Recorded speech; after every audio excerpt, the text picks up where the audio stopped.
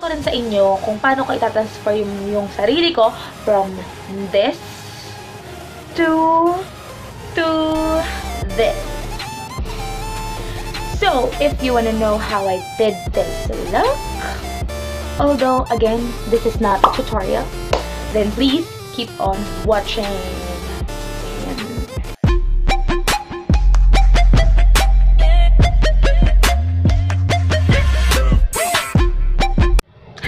Guys! It's me again, Lois Ann, and welcome back to another video. And since June na, um, alam niyo naman, pag June na, ano ba yung dumarating, di ba? It means na pasukan na! Yes, pasukan na guys. And wala na kayong magagawa kasi konting kembot na lang days na lang binibilang or baka oras na lang, eh, pasukan na talaga. So, goodbye dun sa mga um, puyatan chats with your crush. Tapos, yung Petix days. And goodbye na rin dun sa gabi ka na matutulog or madaling araw ka na matutulog tapos hapon ka nang gigising. Hmm? Okay. Anyway, sabi ko yun kasi June na, it's my birthday month and alam naman natin sa Pilipinas, pag tag-ulan na, doon nagsisimula yung pasukan. Which is, ang weird, no? Okay. Anyway, um, as I was saying, ang dami ko na kasing napapanood sa YouTube na um, back to school makeup tutorial, pasukan na, magpaganda ka, keme-keme video. So, dahil inggitera ako, gagawa din ako nun, syempre. Pero, since hindi naman ako magaling mag-makeup, ang gagawin ko ay back to school, not a tutorial, makeup routine. So, kung gusto nyong malaman, and kung gusto nyong makita, ang gagawin ko, then please keep on watching. So, ayun na nga, um, not a tutorial yung gagawin ko kasi papakita ko lang sa inyo kung paano ako nag-makeup way, way back nung college ako. Tapos, sasamahan na rin natin ng konting story time um, tuwing pinapagalitan ako ng principal namin nung high school ako, tuwing nag-makeup ako. So, yeah, let's do this.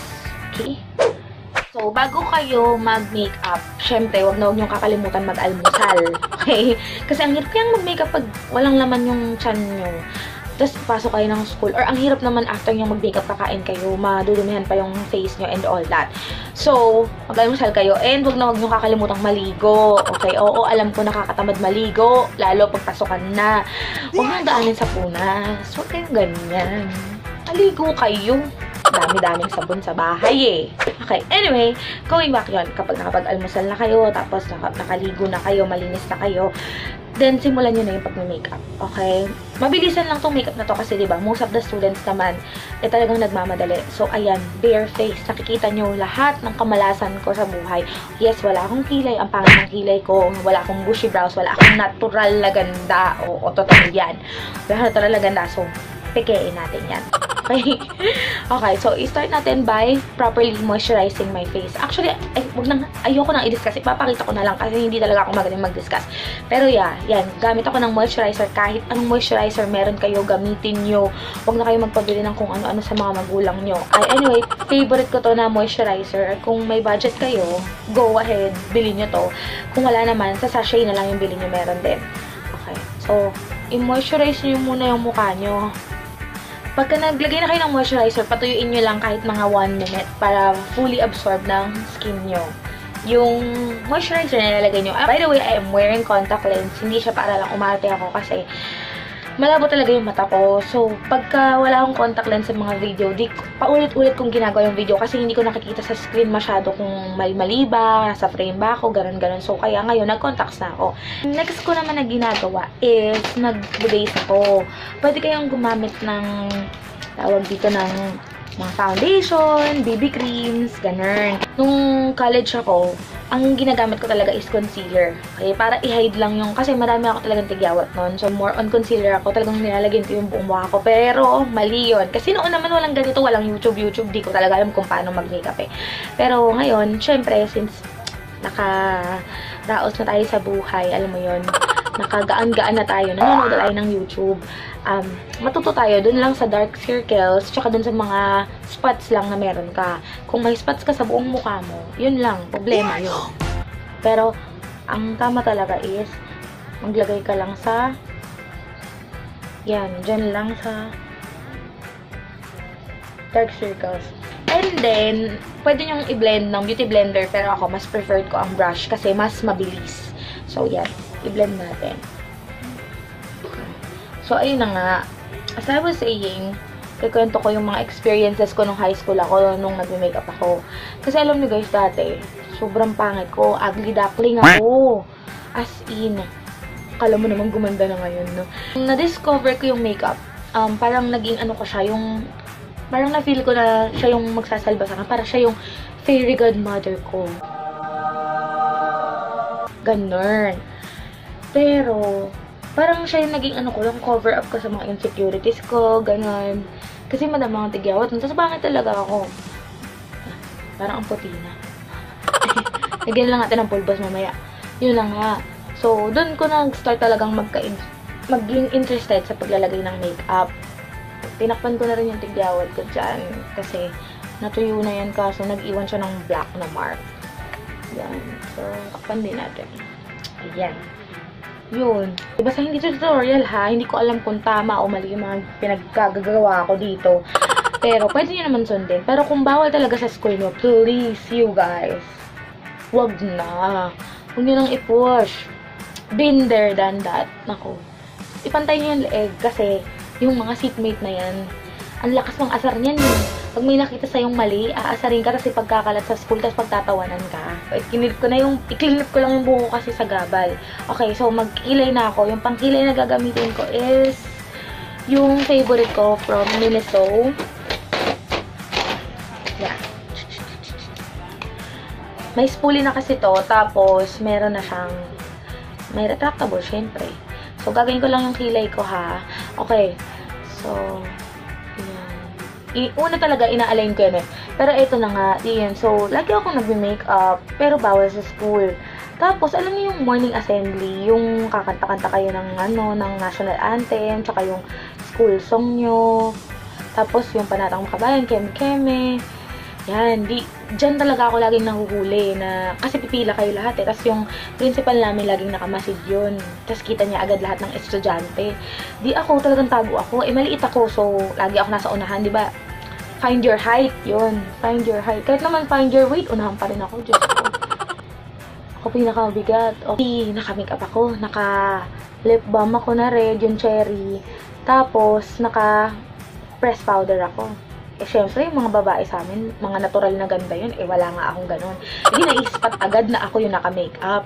Eh, di, ayan na, nakapila na kami, kanta na, na, na, na. Di ako, para tago-tago pa ako. Kala mo na nakakatago.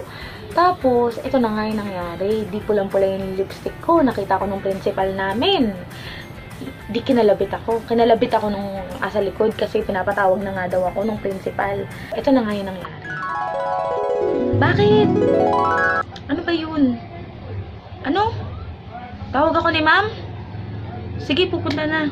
Ay, ma'am. Bakit po? Bakit ang pula-pula ng labi mo? Ah, ito ba, ma'am? Wala, ma'am. Nag-lips candy lang ako. Ayun, kumulay. Naging color pink. Anong lips candy yung pinagsasabi mo? Ibigay mo sa akin yung lipstick mo. Akin na. Iko-confiscate ko na yan. Anong lipstick, ma'am? Wala akong lipstick dito kahit kapkapan niya pa ako. Lips candy lang yan. Akin na sabi yan, Mendoza. Akin na. Wala nga, promise. Wala nga. Wala talaga, promise, ma'am. Wala. As in, wala, wala, wala, wala. Akin na yan. Gusto mo ipatawag ko mga magulang mo? Papatawag ko nanay mo. Papatawag ko si Mrs. Mendoza. Ma'am naman, di ka mabiro. Ito na. Ikaw naman, ma'am, di ka mabiro. Ito na, tsaka lip balm lang naman yan eh. Gumaganda balat mo ma'am pero masyado maputi foundation mo. Contour kita minsan ma'am. Contour, contour. Balik doon. Ayun ay nangyari. Naku-confiscate lagi yung mga makeup ko.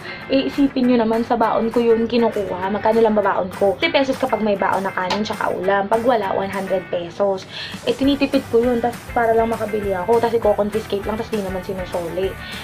Ayun, kaya wag na lang kayong mag-makeup kung high school pa kayo. Mag-skincare na lang kayo o kaya ano, lip tint yung hindi masyadong halata. Ganun. Anyway, nagawa ko na yung kilay ko. So, proceed na tayo sa pagmamascara. Okay. Ang mascara na ako. Ito gamit ko yung sa Maybelline.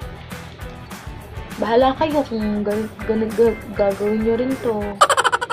Pag kayo pinagalitan, bahala kayo ah. Para hindi magdikit-dikit yung ano nyo, yung ang tawag dito, eyelashes. Iganon-ganon nyo, ganyan oh. Ganyan. Para hindi siya magdikit-dikit.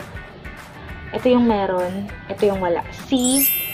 Definitely nakakabuhay ng mata ang um, mascara. Tsaka alam nyo, isa, rin naman, isa din naman sa reason kung bakit gusto ko talaga nag-makeup pag pumupunta sa school nung college ako.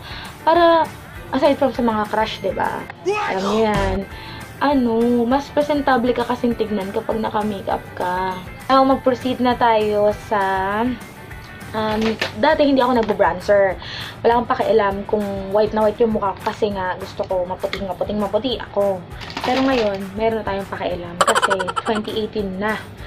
Baka ikaw na lang ang hindi pa nagkukuntur at bronzer, gumising ka. Gagamit ako nitong angled brush. Okay? So, yan. Mag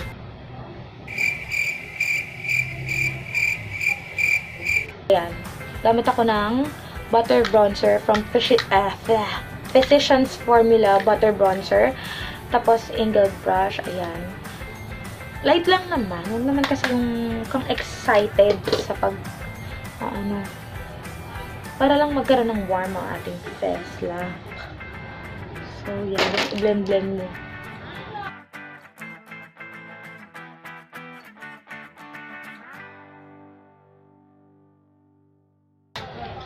hindi naman kailangan talaga ng extreme contouring, lalo dito sa Pilipinas. Kiber lang. Yung saktong-sakto lang sa, para sa'yo, ganun. Tapos, yung pinaka hindi ko na talaga kinakalimutan ngayon is nagko-contour na ako sa nose gamit ang fingers. Ito lang, tong dalawang to. Ginaganyan-ganyan ko lang. Tapos, ginaganyan ko. So, um, bahala kayo kung matangos kayo. Skip na yung part na ginawa ko na nagkontour ako sa ilong. Ako kasi, pango. So, ayan, yan.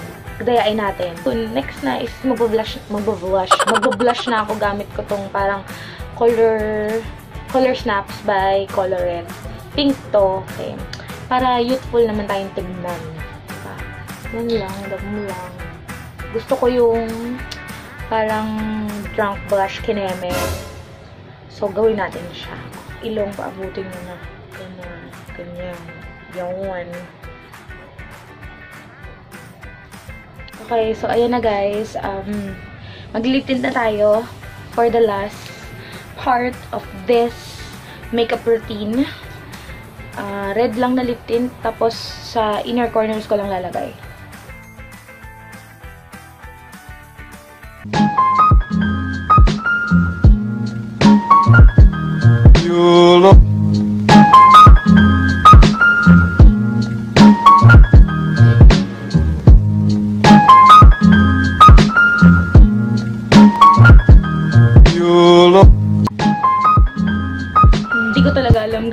Kung school appropriate ba yung nagawa ko pero this is the lightest makeup that I can do for you.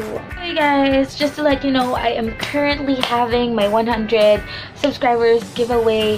The video link will be down below so if you wanna join, marami po akong papag-giveaway including this lip tint. So, join kayo sa aking giveaway. And thank you so much for watching. Don't forget to smash the subscribe button and the notification bell button if you believe that I deserve and earned you as a subscriber. Thank you so much and I hope to see you again on my next one. Click, like, comment, subscribe. I love you all. Mwah. Peace out, you. Listen to my heartbeat.